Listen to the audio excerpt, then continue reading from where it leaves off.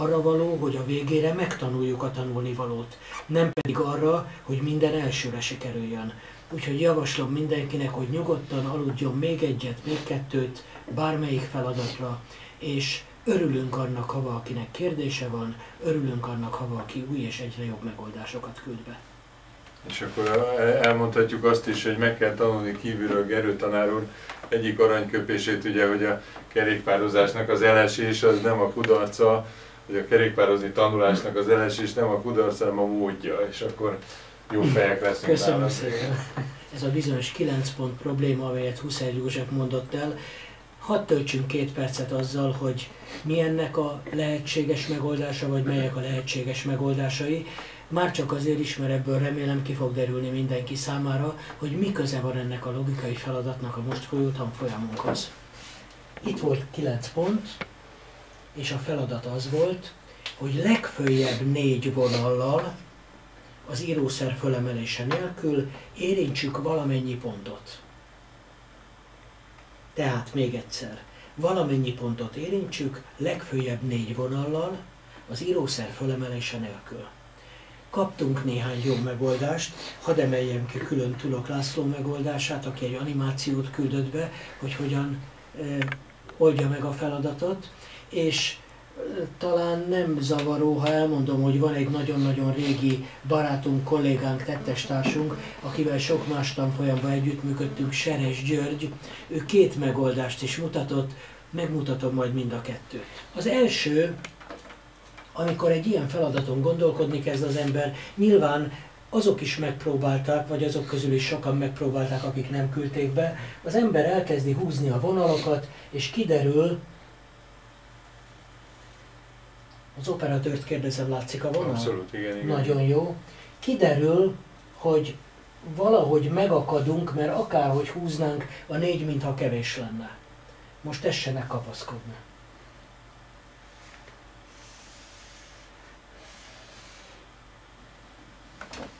Mondta valaki, hogy a kettőcen belül kell maradni? Az ember önkéntelenül is szabályokat állít föl magának, amiket senki nem mondott. Hadd mondjak egy másik szabályt, amelyet elképzeltünk. Majdnem mindenki egyenesekkel próbálkozott. Seres György volt az egyetlen, aki azt mondta, tessék itt egy vonal, senki nem mondta, hogy egyenes. Most már elárulhatom, bocsássák meg nekünk, direkt nem mondtuk, hogy egyenes. Kíváncsiak voltunk, hogy ki lesz az, aki ezt észreveszi. De ha mondtuk volna, akkor is. Kérem szépen, miért nem lehet ezt a papírt leszedni a falról, darabokra vágni, a pontokat egymásra rakni, és egy hegyes ceruzával átszúrni, az is vonal, nem? Azt próbálom kifejezni, hogy az ember hajlamos arra, hogy a szokásai alapján, és hadd mondjam meg, hogy annak alapján, amit az iskola belénk nevelt, több és szigorúbb feltételt képzeljen el, mint ami van a valóságban. Hadd emeljem ki Kopin Zsuzsának a beküldött feladatát, aki az elérendő eredményekről még grafikont is készített, nagyon egyszerű grafikon. De látványos, színes, mellette vannak az adatok, látszik, hogy egy adat ekkora volt, ekkora lesz. Segítünk ezt a fórumot létrehozni, hogy aztán múltkor is ígértük, és aztán ki fog derülni, hogy van-e rá igény. Tehát azt gondolom, hogy ezt vessük puding próba alá, aztán meglátjuk, hogy, hogy mi lesz vele. Közben a Katza mondja, hogy szerinte van, es, van, van, erre, van erre érdeklődés. Jó, menjünk tovább. Van egy település, ahol egy kisiskola építésbe fogtak, és a, az egyik résztvevője a, a tanfolyamnak, Ribán Zita, azt vállalta, hogy ő ezen a projekten fog dolgozni.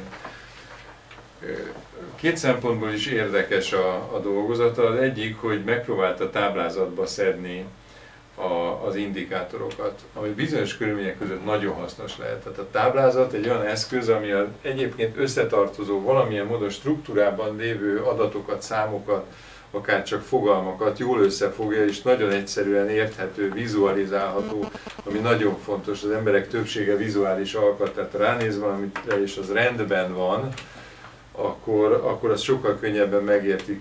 Ezért mondtuk a múltkor, hogy hogy egy hosszabb szöveget, mondjuk már egy 2000 karakteres leírást sem baj, hogyha a bekezdésekre tördelnek, sőt.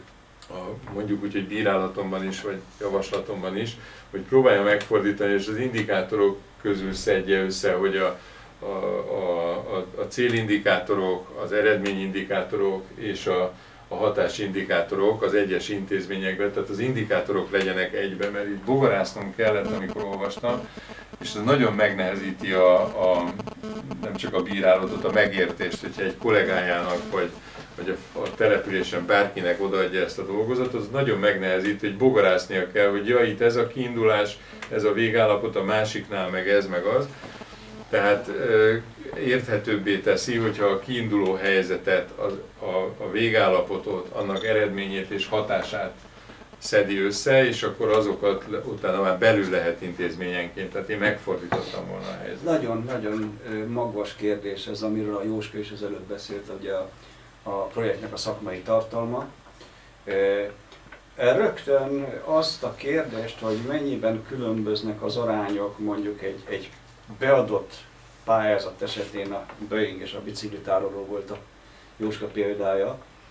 E, ugye az fontos, hogy az arányok azok már a, a dokumentációban és a projekt teljes egészében követhetőek legyenek. Tehát, hogyha mondjuk biciklitárolót akarok készíteni, akkor, és erről már biztos, hogy lesz majd később szó, ez mind a projekt struktúra tervének szintmélységében jelentkezik, mind pedig később a, a, a tevékenységi gyűjtőlistában megtalálható tevékenység számokban jelentkezik. Na most az nagyon világos, hogyha valaki egy házat tervez, vagy egy Boeinget tervez, ahogy Jóska is mutatta, az hogy egy papíron azért egy kicsit snasz dolog lenne.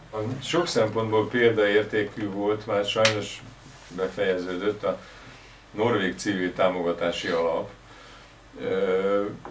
Azt gondolom, hogy aki valamilyen módon kapcsolatba került vele, az tudja velem együtt, hogy hogy a, a, például példaértékű volt az, hogy semmilyen dokumentumot nem kértek be a, a pályázati papírokkal, csak a nyertesektől kérték be az aláírási címpéldányt, a nem tudom miket, ami egyébként szokásos manapság, és a nem kis pénzbe kerül a szervezeteknek a, a, a beadáskor. Mondom, sok szempontból példaértékű volt az értékelésük, a, az egész folyamat, ahogy ezt végigcsinálták. A, és, és példaértékű a, a, a projekt adatlapjuk. Én ezt az adatlapot egy kicsit ki, hogy mondjam, csak szóval kiszedegettem belőle dolgokat, amik ilyen túlzottan magyarázó, meg az üres helyeket, ahova írni lehetett, és holnap föltesszük a, a tanterembe, hogy mindenki láthassa és kiemelném, hogy ez egy nagyon jó szamárvezető, tehát sokszor van úgy, nem tudom, hogy voltak-e önök is már, úgy én nem egyszer, hogy valamit nekiálltam, hogy megírom, és akkor addig, amíg keresgéltem a teát, a tollamat, addig minden jól ment, és azt hittem, hogy ez fog menni, de amikor elkezdtem írni, akkor na most mit is akartam csinálni, és, és valahogy nem, nem, nem adódott, nem, nem, nem, nem kezdtem jól fogalmazni, össze-vissza írkáltam, papírokat dobáltam ki, húztam át, satíroztam, stb. És előbb-utóbb az ember rájön arra, hogy akkor valamilyen módon szét kell szedni ezt a dolgot, és akkor valamilyen vázlat alapján talán közelebb lehet kerülni hozzá, nem tudjuk, hogy, hogy hogy lesz ez más számára is érthető. Na ezért is különleges ez az adatlap, mert ez ad ilyen támpontokat. Tehát amikor azt mondja, hogy a pályázati projekt részletes bemutatása, akkor azt mondja, hogy na erről szeretnénk, ha mindenféleképpen beszélne. Nyugodtan lehet másról is, de mindenképpen a leírás tartalmazza a következő részletes leírását kettős pont, és utána hat, hat pont van, amiket most röviden azért egy-egy megjegyzést fűzve hozzá most ismertetek és aztán majd holnap mindenki persze elolvashatja az egész adatlapot. Tehát a projekt hosszú távú célja, ugye erre, erről beszéltünk mm. már éppen eleget, ez nem, nem biztos, hogy olyan sok kommentárt igényel, de minden esetre exakt módon le kell írni azt, hogy mi az, amit csinálni szeretnénk, mi a célunk, miért csináljuk a projekt, közvetlen rövid távú céljai. Ugye itt visszaköszön az, hogy, hogy közvetlenül ezek lesznek a, a célok, és ami a következő érdekesség, hogy a, a projekt által közvetlenül és vagy közvetetten érintett célcsoportok.